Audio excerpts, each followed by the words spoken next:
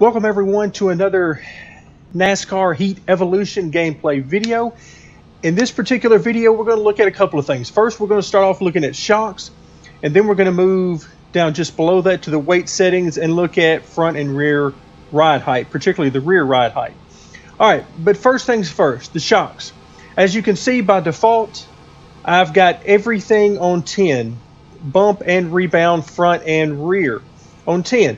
Reason I did this, this is basically middle of the road.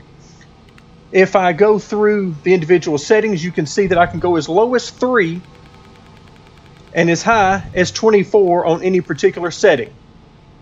So, let's start off and make everything 3. Now, the effect of this, uh, and of course there are many variations you can do with this, adjusting uh, the bump and rebound for each individual corner of the car. Um, you could try to hold the front end down by using as soft as possible right front and left front bump, and then using as stiff as possible right front and left front rebound, and then with the rear, you could get into all that kind of stuff. But let's just try to keep things simple and have all of them at three, and let's see what that does to the car.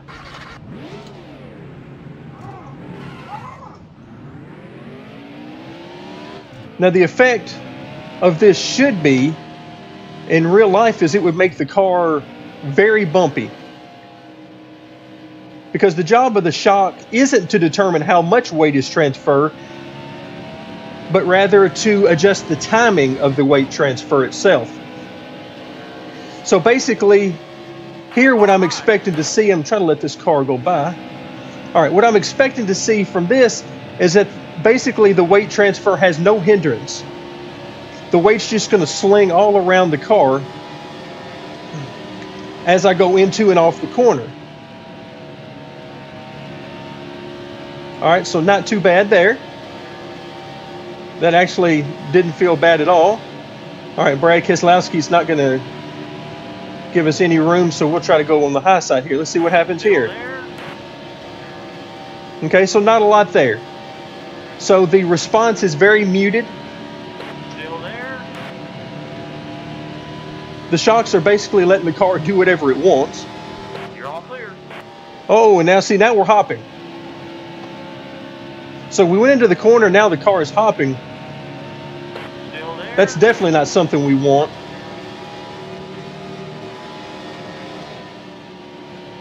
You're all clear. Now turn three and four wasn't bad at all. So not much to it. But going down into turn one, you'll notice that the car really starts to hop. And here it goes. You can see the car shaking back and forth. Now that's not having a tremendous effect on the grip of the tires uh, as far as through the force feedback or anything like that. I can't really tell a whole lot of difference. But visually, it's just shaking the car all over the place. Still there. And that's not something that you want. But otherwise, it doesn't drive too terribly bad. Okay, so let's go ahead and try the opposite. Let's max this thing out on every one of the options. Again, there's any number of combinations that you could test out on this, and for those of you who are veterans of racing simulations, you know what I'm talking about.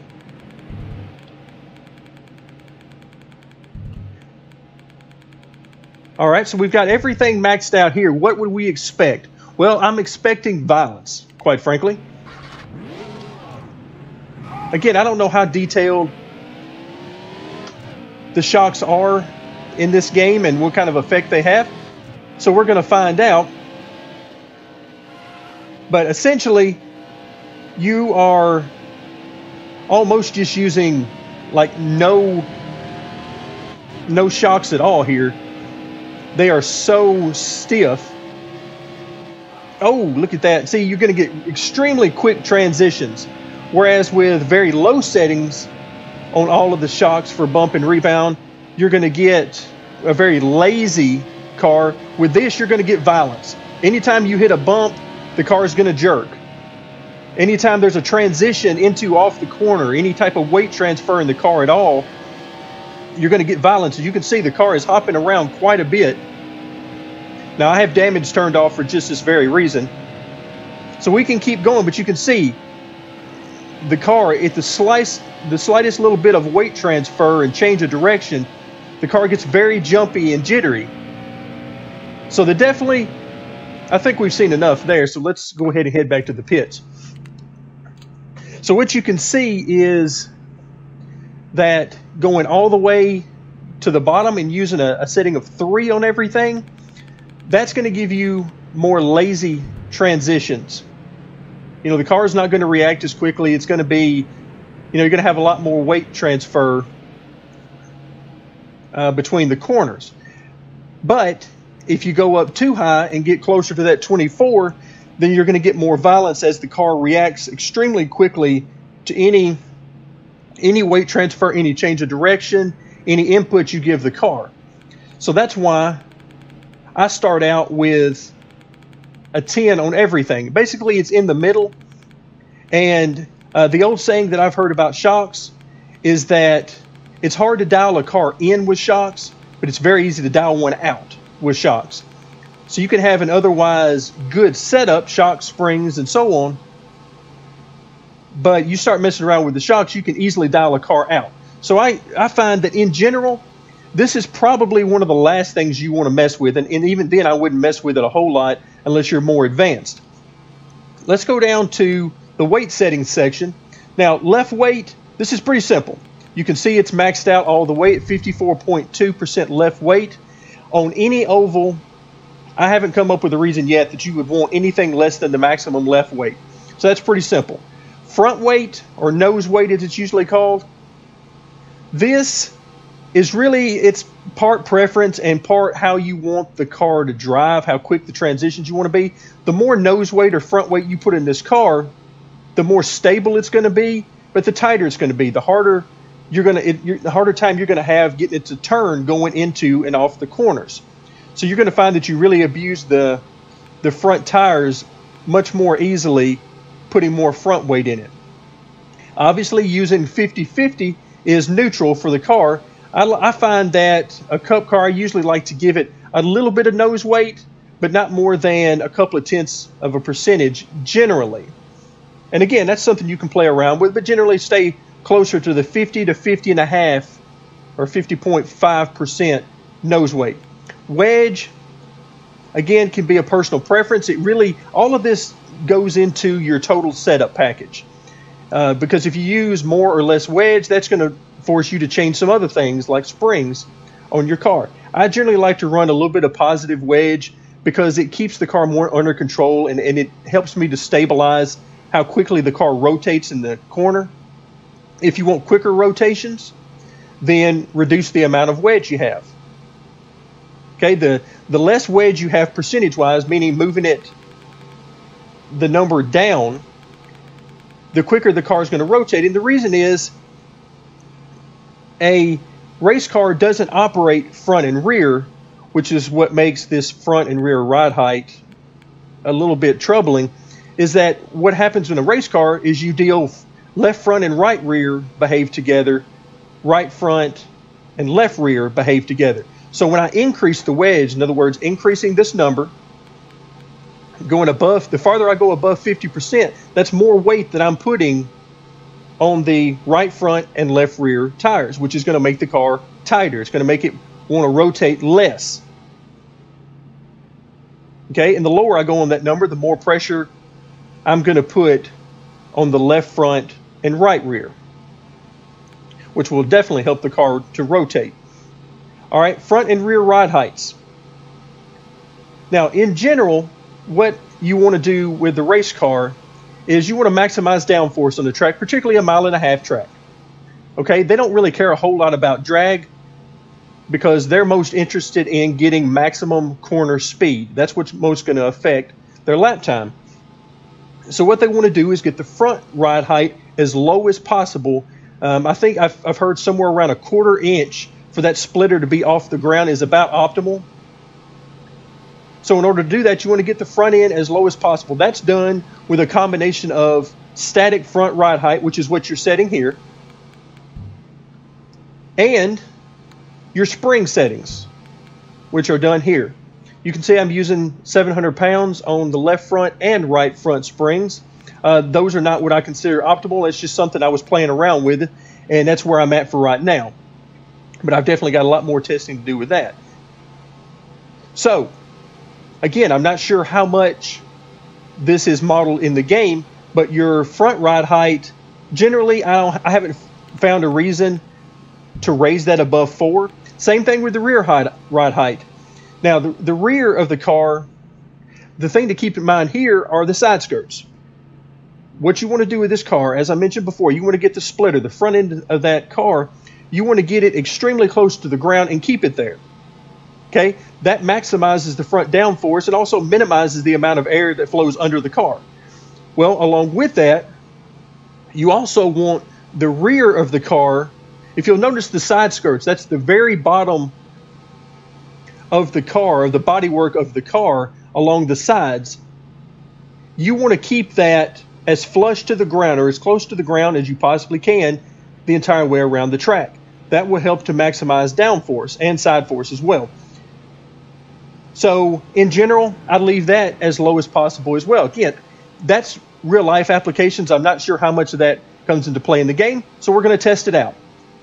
We're going to start out front and rear ride height both at 4. Okay, so let's go ahead and save our setup and head out to the track.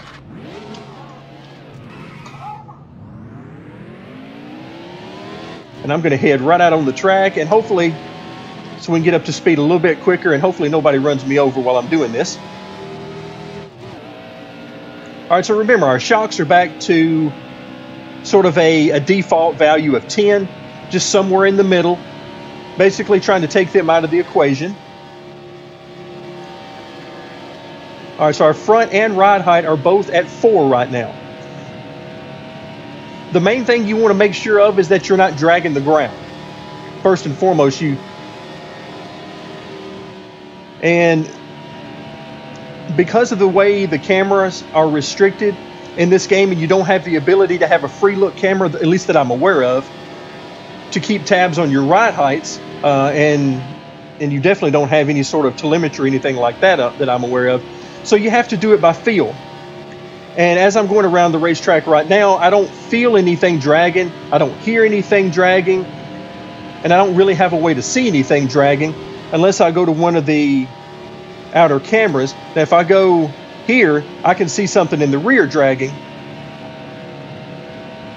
But as far as I can tell, nothing's dragging.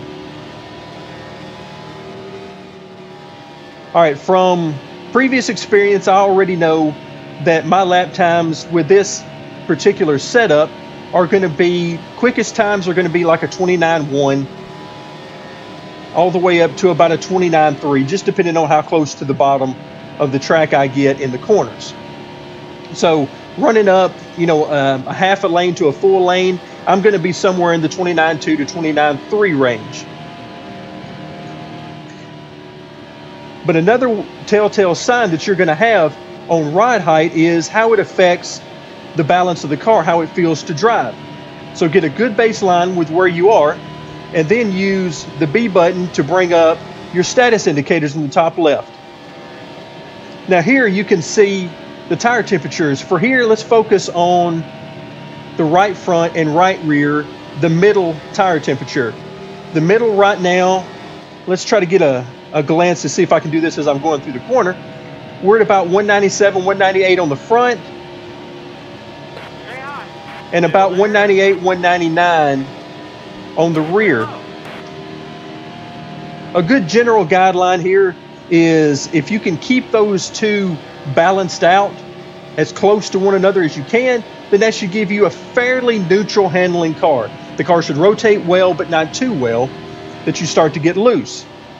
But if anything, I would say a car with uh, equal tire temps from right front to right rear should be a little bit on the loose side, but generally not too bad. All right, so as you can see here, we're getting pretty close to equal tire temps between, again, we're looking at the middle temperature on the right front and right rear. So we're pretty close to the same. Okay, so let's make an adjustment. And this time, we're going to go to the extreme. I'm going to go from 4 inches all the way to 8 inches. Now, in real life, I can't imagine why anybody would want to do this, but we're going to give it a shot, and you can see immediately, just on pit road here, how it really jacks the rear end of the car up. All right, so let's see if we can get a gauge on how this works out. Again, we're going to head straight out on the track and hope we don't get run over.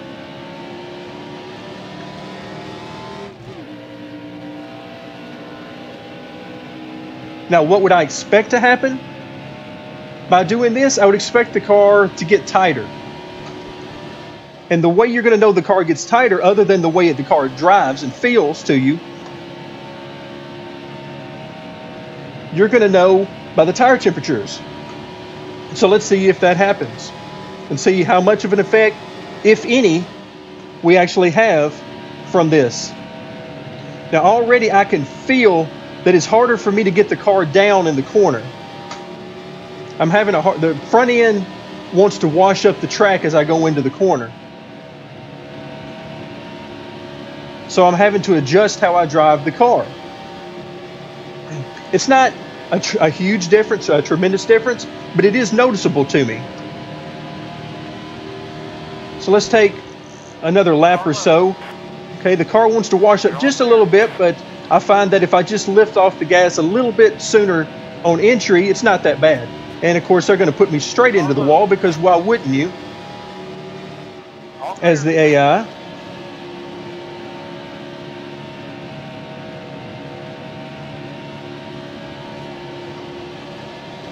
Still there? And for some reason, they keep wanting to play chicken with me. Still there? All right, so as you can see, if I drive it in deeper into the corner, I'm forced to run the high groove because the car just will not turn on entry. Now, I also want you to keep an eye in the top left-hand corner of the screen as I do this and see how the temperatures of the right front and right rear are behaving. You've probably already noticed that the middle temperature for the right front and right rear are now not doing the same thing they did on the previous run. Now you've got the right front that's now a few degrees warmer than the right rear? Which would correspond very nicely with the effect that I mentioned of the car not wanting to turn. The front end doesn't want to grip and rotate as I enter the corner, which is making it harder for me to run lower on the track. Now, again, you can adjust for this in your driving. If you happen to find that your car is doing that, simply get off the gas earlier entering the corner, and it'll give the car a chance to rotate. Now, the downside of this is that, in general, it's going to slow the car down having to do that. So here I can adjust and get down in the corner, but if you'll notice the tire temperature, I'm a good four or five degrees warmer now on the right front than I am the right rear. That was a great lap. Okay, so let's go back.